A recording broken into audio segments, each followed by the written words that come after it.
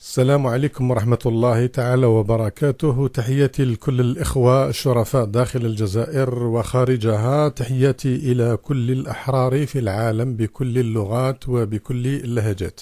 هذه المداخلة القصيرة حبيتها فقط هي أنه تكون كمقدمة لحديث إن شاء الله سيكون في المستقبل حول موضوع الهوية الشائك.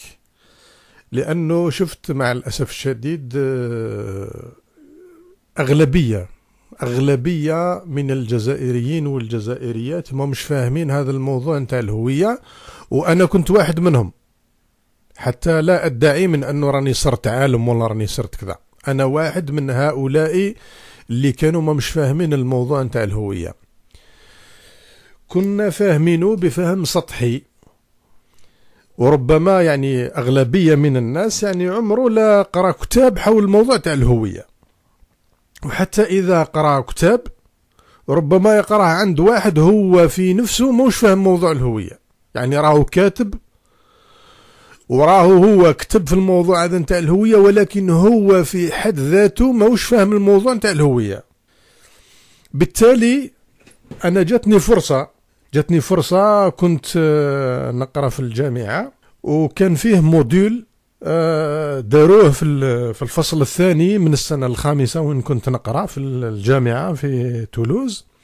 وهذا ال module هو يتعلق بالهوية يعني بدأوا يدرسوا فيها في الجامعة في module يتعلق بالهوية. في هذا ال module كانت هناك عدة أبحاث لزملاء يعني كانوا يقرأوا معايا من ديانات مختلفة من قارات مختلفة. وكنا درسنا مجموعة من النصوص الكتاب منهم اللي هما آه، من آه، أفارقة يعني الأصل نتاعهم أفارقة عايشين في فرنسا أو عايشين في دول واحدة أخرى.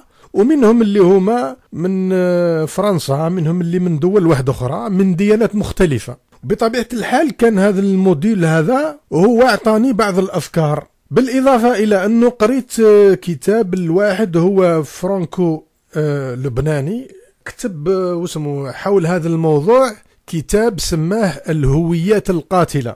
أه لما قريت أنا هذا الكتاب بطبيعة الحال لقيت هناك إشكال. حتى هو داخل هذا الكتاب هذا أه الإخوة اللي ربما ما يعرفوش يقولوا له أمين معلوف قادرين تبحثوا على الكتاب هذا اسمه الهويات القاتلة. لما قريت أنا هذا الكتاب لقيته هو نفسه ما عالجش هذا الموضوع. وحتى أنه هذا الكتاب اللي كتبه هو يفتقر إلى مراجع. يعني كتبوا اجتهاد منه يطرح في بعض الأسئلة اللي مرات تكون من الواقع مرات تكون عندها خلفيات يحملها هو ويحاول هو أنه يجيب عليها مرات بتساؤلات مرات آه، آه، يعني هكذا يجاوب عليها. المهم في خلاصة هذا الكتاب يعني آه، النتيجة اللي وصلت لها هو أنه هذا أمين معروف هو لم يعالج هذا الموضوع تاع الهوية حتى هو في نفسه في حد ذاته في خلال في هذا الكتاب هو بنفسه يعترف من أنه هذا الموضوع شائك ويحتاج إلى دراسة وإلى غير ذلك. فيه بعض الشباب هكذا مع الأسف الشديد هو أنه في الجزائر لا هم قاريين ولا هم مطالعين ولا عندهم علم بهذا الموضوع وانطلت عدت عليهم هذه الحيلة هذه نتاع الفتنة ودعاة الفتنة ونشر الفتنة وكذا. وحتى بعض المشايخ اللي هما يتبعوا فيهم هذا المشايخ الفكر نتاعهم محدود. هما هما في نفوسهم رؤوسهم مغلقة. عندها كادنا كادنا ثم. ما يشوفش بعيد يشوف غير قدام رجليه. يعني إذا فرنسا والتطور اللي وصلت ليه والتكنولوجيا اللي وصلت ليها والمعارف اللي راها موجودة بحيث أنه لو تروح أنت الآن للمكتبات تلقى الناس راها تشري في الكتب كما راهم الناس يشريوا في المصروف في الجزائر. ومع ذلك هذا الموضوع نتاع الهوية مازال إلى اليوم محل نقاش سواء تعلق الأمر في الجامعة في أبحاث أو تعلق الأمر بالمواد المستديرة التي تدار في قنوات فضائية أو في إذاعات. أو من خلال مجلات علمية إلى غير ذلك أو في البرلمان الفرنسي أو حتى في خطب السياسيين يعني لو تشوفوا مثلا ماكرون تحدث عليه في الحملة الانتخابية نتاعو هذاك ميلونشون مارين لوبان كلهم تقريبا تحدثوا عن الموضوع نتاع الهوية. وكثير من الخطباء وكثير من الناس اللي راهم يتحدثوا في هذه المواضيع في بقاع مختلفة من العالم راهم يتحدثوا عن الموضوع هذا نتاع الهوية. لما درت أنا البحث حول الموضوع هذا نتاع الهوية وكنت درت عرض في الجامعة آه، حول هذا الموضوع نتاع الهوية وتحديدا حول قسم من الكتاب هذا نتاع أمين معلوف آه، اللي هو يتحدث حول آه، ترويض النمرة مسميه العنوان هذاك ترويض النمرة. وكان ربما لست أدري إذا كان آه، دقيق في هذه المعلومة. كنت أنا قريت هذا المصطلح هذا نتاع ترويض النمرة مأخوذ من رواية كتبها شكسبير. بمعنى ربما هو يكون خذاها. لكن المهم هو كان يتحدث عن الموضوع هذا نتاع الهوية ودار له هذا العنوان هذا. فهم فيما بعد أنا فهمت باللي هكذا الشيء اللي, اللي وصلت ليه. وصلت ليه؟ بون ربما ربما قادر بعض الإخوة هكذا اللي ربما يعتبروه غرور أو ربما يعتبروه لا علينا. المهم آه، كل واحد المستوى نتاع التفكير تاعو. وصلت باللي مش غير هذا أمين معلوف. كثير من الناس اللي هما تحدثوا في هذا الموضوع نتاع الهوية ربما هما تحدثوا فيه وربما تحدثوا في بعض التفاصيل تاعو وربما تحدثوا في بعض الجوانب تاعو ولكن ما لقاوش حل هذا الإشكال اللي راه مطروح. خاصة هو أنه الآن هذا الموضوع تاع الهوية ما بقاش فقط كما بكري. راهو تطور هذا الموضوع بتطور التكنولوجيا بمعنى أنه الآن هذا الموضوع هذا نتاع الهوية دوك أنت مثلا لما أنت تقول مثلا باللي التاريخ هو عنصر من عناصر الهوية.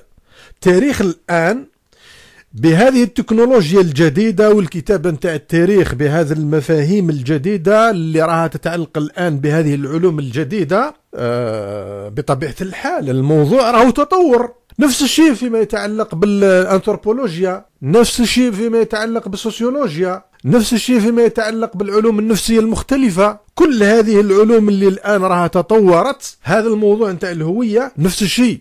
هو راه تطور مع تطور هذه العلوم لأنه هذا الموضوع هذا هو شائك تدخل فيه يدخل فيه الدين يدخل فيه التاريخ يدخل فيه العنصر تاع اللغة وكثير من العناصر اللي هي تتعلق بالانثروبولوجيا تتعلق بالسوسيولوجيا تتعلق بالعلوم نتاع النفسية المختلفة آه، العلوم نتاع التاريخ المختلفة كلها تدخل في هذا الإطار هذا نتاع الموضوع تاع الهوية.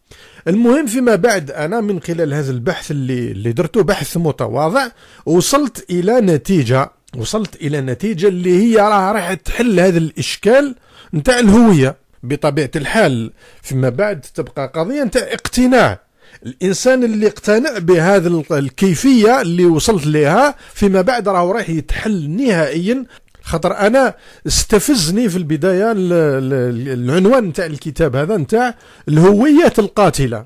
استفزني. قلت أنا كيفاش أنا الهوية آه، يعني تصير قاتلة. فيما بعد لما قريت الكتاب هذا نتاع أمين معلوف ولقيت فيه بعض الأشياء اللي هو يتحدث فيها فعلا هي موجود منها كاين منها. لكن فيما بعد لقيت باللي الخلل عرفت الخلل وين راهو. فيما بعد لما الناس ما تعرفش الخلل وين راه موجود بطبيعة الحال تبقى الناس تدور في حلقة مفرغة. المهم هذا كمقدمة فقط للموضوع هذا نتاع الهوية وإن شاء الله راني بديت يعني شرعت في الكتاب نتاع كتاب حول هذا الموضوع نتاع الهوية ربما يأخذ مني وقت لأنه محتاج إلى بعض المراجع. آه، على جل باش أنا نعطي الأدلة الكافية حول هذا الشيء اللي وصلت ليه. في هذا الموضوع هذا. حتى باش ما يبقاش كلامي هكذاك يكون في في الهواء. يعني يكون مجرد نتاع تصور. يعني كاين هناك كتب اللي الحمد لله راه موجودة والأغلبية منها مع الأسف الشديد كاتبينها ليسوا عرب وليسوا مسلمين. كاتبين في هذا الموضوع تاع الهوية مناقشينه مناقشة علمية. حنا دوك انت واحد تتكلم ليه يجيب لك آية قرآنية. والله يجيب لك حديث والمشكل وين؟ يو مش في الآية يو مش في الحديث يو المشكل راه في راسك. انت ماكش فاهم الحديث ماكش فاهم الآية وتجي تفسر فيها حسب الهوى نتاعك. نحاول إن شاء الله في المستقبل هو أنه آه نكرس يعني الوقت نتاعي فيما يتعلق بالبحث في هذا الموضوع وإن شاء الله إذا كان إن شاء الله لقينا في المستقبل بعض الإخوة اللي يعاونونا سيما فيما يتعلق بالوسائل نتاع الإعلام.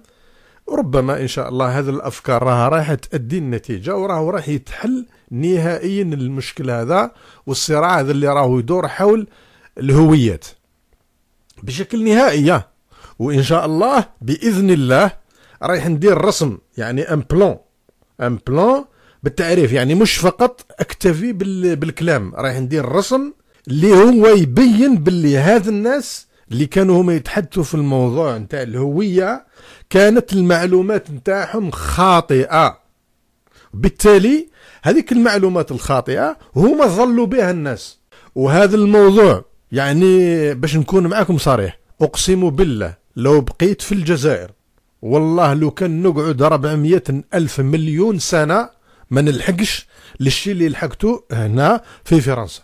وهذا من خلال الاحتكاك بالطلبة من مختلف الأقطار ومن مختلف الديانات وأيضا من خلال الاحتكاك ببعض الأساتذة ومن خلال الوسط هذاك الجامعي اللي هو أعطى لي الفرصة على جال باش آه، نبحث في هذه المسألة ونلقى هذه الأجوبة حول هذا الموضوع نتاع الهوية. إذا إن شاء الله في المستقبل راني رايح نتطرق لهذا الموضوع نتطرق له بشكل يعني مبسط اللي يفهموا العام والخاص. وإن شاء الله إذا كان لقينا ناس وقفوا معنا في هذا الموضوع لأنه هذا الموضوع هو لا يعنيني أنا في شخصي.